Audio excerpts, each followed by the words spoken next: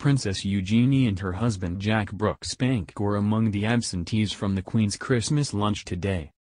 The couple are believed to have been too unwell to attend the event at Buckingham Palace today, which would have been their first as a married couple.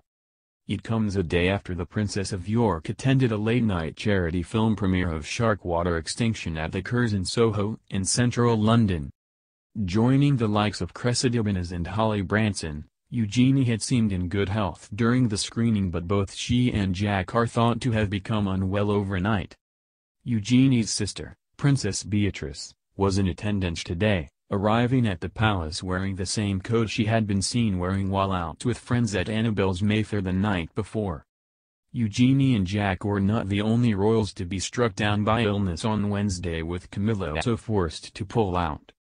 The Duchess of Cornwall is suffering from a heavy cold Clarence House has confirmed and it is believed to be the reason she was not at Buckingham Palace on Wednesday.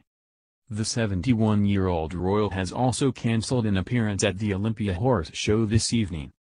Her husband the Prince of Wales was seen arriving at Buckingham Palace alone this afternoon where he joined other members of the royal family for lunch.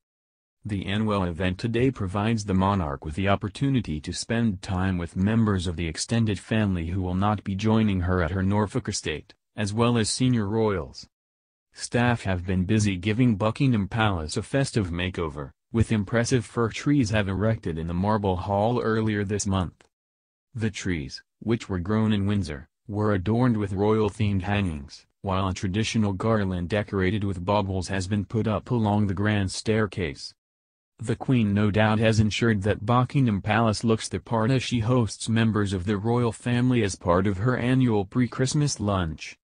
The traditional lunch at the palace usually takes place midweek, shortly before the royal family head to Sandringham for the 25th.